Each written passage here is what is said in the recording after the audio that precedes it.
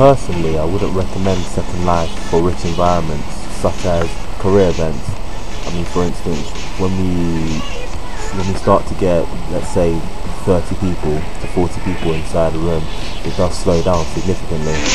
We're quite lucky, obviously, with David being able to come to Manchester, but there are groups um, within ITMB and other universities, I'm sure, um, that have industrial mentors that are perhaps based, you know, elsewhere and too far away to meet on a regular basis. So perhaps Second Life can be applied in that way, as we're applying it now, um, to all the other groups.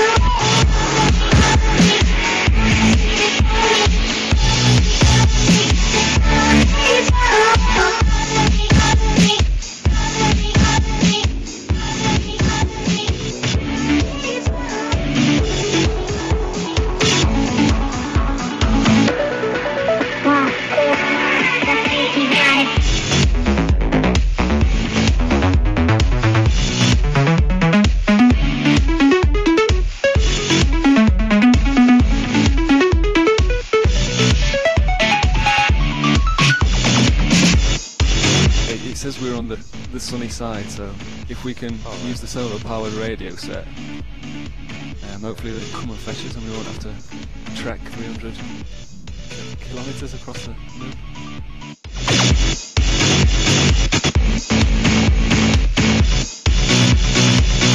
Yeah, I mean, I appreciate that I'm um, I'm actually working at home for for personal reasons, which is which is a bit of a problem, and therefore I've not been able to follow you around as quickly as I can. But from what I can see, this has been a really good event. I would say that there's been tremendous interaction, and it looks to me as though the if I could fill out the spreadsheets, I would have done. But um, I just feel more comfortable. I feel that this this has demonstrated that there's value here, and as I say, I I had to be working from home.